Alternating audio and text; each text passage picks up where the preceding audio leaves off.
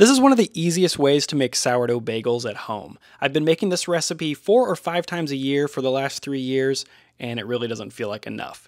Here's how to make them. Get your sourdough starter out of the fridge. I keep about 25 grams of starter in a jar like this. Add 50 grams of water to the jar, then stir it around to mix up the leftover starter with the water. Then add 50 grams of bread flour. I'm using King Arthur brand of bread flour. If you're in the US, you can use the same one I'm using. Feed your starter and then mark the top of the jar with a rubber band so you can see how much it's going to grow overnight.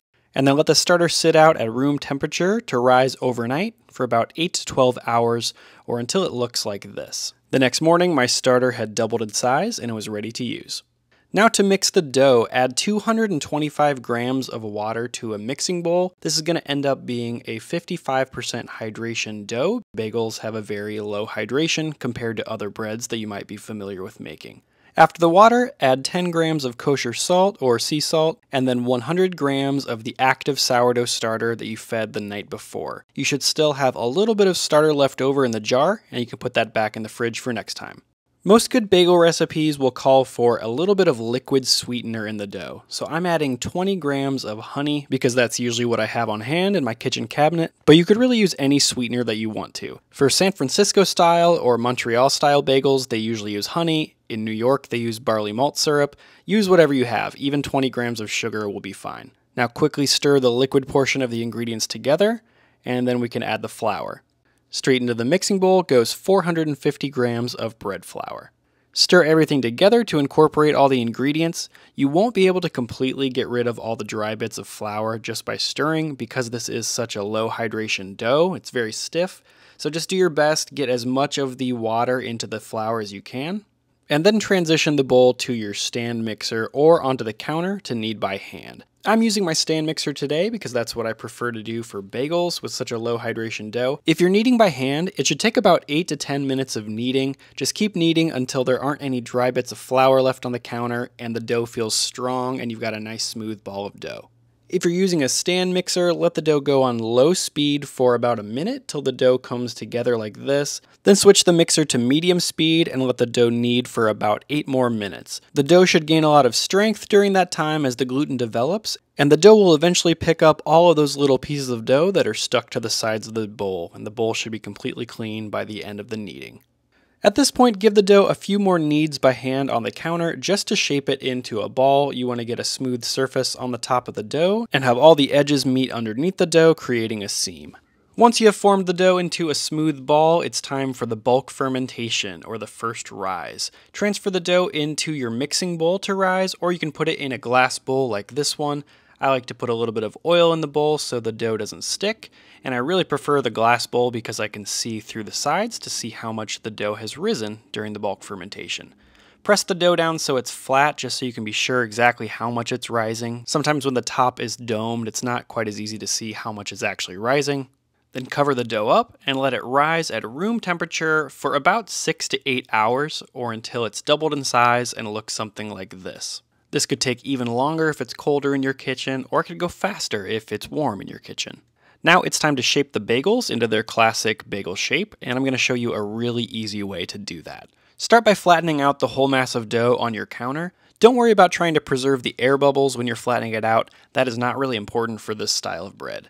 Now simply divide your bagel dough into six even portions. You can do this by eye or you can do it by weight. Weighing each piece of bagel dough to the exact same gram amount will obviously produce a much more consistent result, bagels that look a lot more similar in size, but it really doesn't matter. If you want to do this by eye, that's completely fine. Now with each piece of dough divided, it's time to pre-shape each piece into a ball. This is how I do that. I start by just giving each piece some stretches and folds. You're creating a smooth side on the top and a seam side underneath. I just catch each edge of the dough with my thumb, creating a seam. Then I flip the dough ball over so the smooth side is facing up, and I roll it against the counter a few times with my hand like this. That creates a smooth ball of dough with a smooth seam underneath. For now, just do that with each piece of dough until they're all pre-shaped into balls. Then cover the dough up with a kitchen towel and let them relax for 15 minutes until we're ready for the final shape. When your bagels are ready to shape, prepare a half-size sheet tray or a cookie sheet with a little bit of cornmeal if you don't have cornmeal, you could use a little bit of semolina flour or bread flour, anything to give it just a slight non-stick barrier. Now to give these bagels their classic shape and that final ring-like appearance. Uncover the dough and top each piece with just a little bit of bread flour for non-stick, and then just jam your thumb or index finger into the center of one of the dough balls. This is what I like to call the cheater method for forming your bagels into the classic ring shape. Almost all professional bakeries will roll out long strips of dough and then roll the two ends together to form a ring. But I find this method to be just so much easier to get consistent results when I'm baking at home. Since I'm not making bagels all the time, this is just easier for me. And as long as it looks like a bagel in the end and tastes like a bagel, it's a bagel. Once you've got a hole in the center of the dough, you're just going to spin the dough around in circles, widening the hole as you go. Stretch the dough out until the hole is a little bit wider than what you would normally consider to be normal, because when you boil the bagels later and they bake, the hole is going to shrink a little bit as the bagel puffs up. So get a hole that's a little bit bigger now than what you think is normal. Transfer the bagel with the smooth side up onto your baking tray, and then proceed to do the same shaping process to each of the remaining bagels. Once all the bagels have been shaped, it's time to cover them up and let them go through their final proof. Let them rise at room temperature for about three hours or until they're doubled in size like this. This final proof will not only add to the flavor and texture of these bagels, but it also puffs them up with air, which is necessary for them to be able to float when you boil them in water later. So make sure that they truly puff up and double in size during the final proof.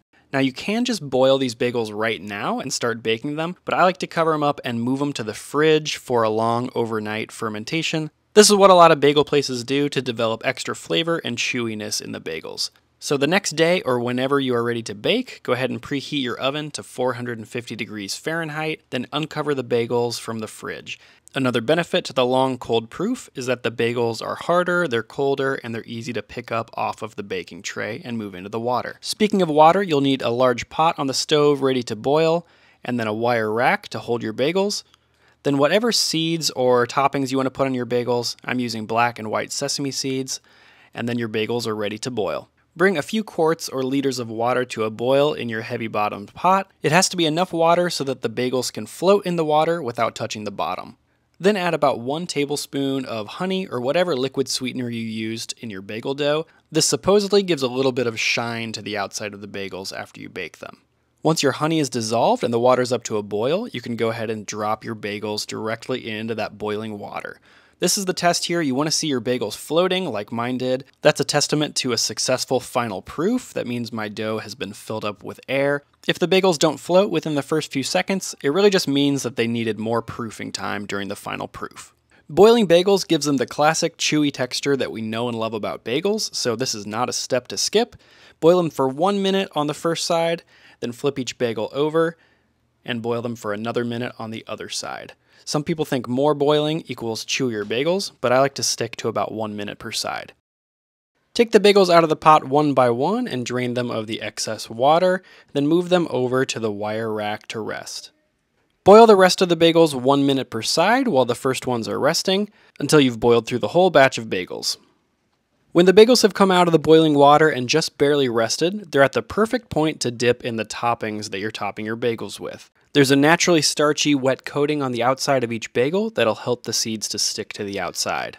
Dip each bagel on each side into the seasoning blend of your choice and then move it to the baking sheet or cookie sheet to rest. Do that to each remaining bagel, and if you find that they've dried out a little bit too much and they won't stick to the seeds, you can spread a little bit of the boiling water back on top of the bagel.